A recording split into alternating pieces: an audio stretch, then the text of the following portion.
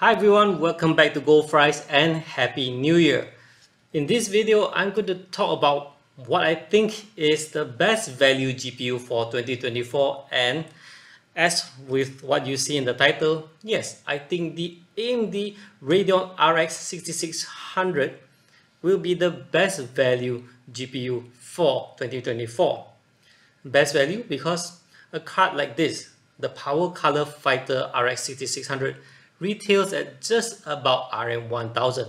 I know, I know, there are um, lesser price, let, let's put it that way, lesser price product in the used market, but we're not going that aspect because there are many who have concerns with used market.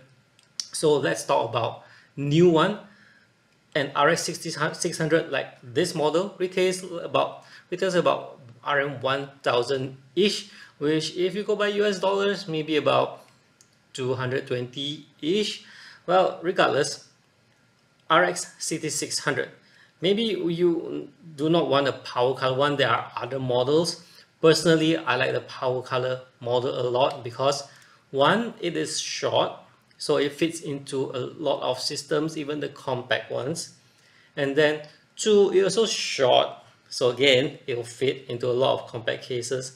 Then it has two fans over here and the fans are rather huge which comes to you can see that it reaches the edge of the shroud. And then the heatsink it's of a thin type of fins you know not those uh, not so nice heatsink like you can see in one model over here. I'll link it over.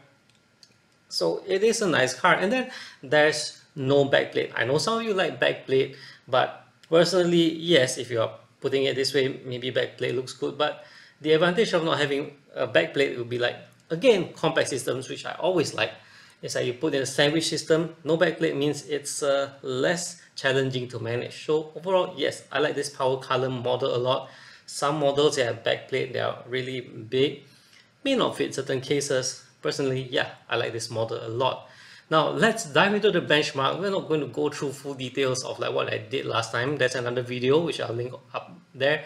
So um, here's the benchmark of which you can see it is plenty sufficient for most people gaming at 1080p 60 Hz refresh rate at maximum graphic detail preset. Seriously, this card, while it's a 2021 release, in 2024 is still relevant.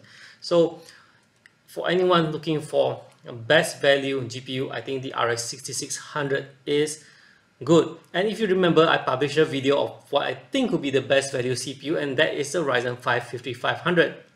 So going along the line with, uh, with that video, which means you're looking at budget setups, right? Pairing the, the Ryzen 5 5500 with an RX, uh, this RX 6600 will work out just fine. And then you might think, will it bottleneck on that? Very little. This is a very strong card.